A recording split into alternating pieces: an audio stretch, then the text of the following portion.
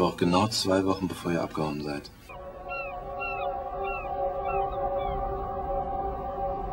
Du machst immer alles kaputt. Ihr habt ihn umgebracht. Ihr seid schuld, dass er angefangen hat zu trinken.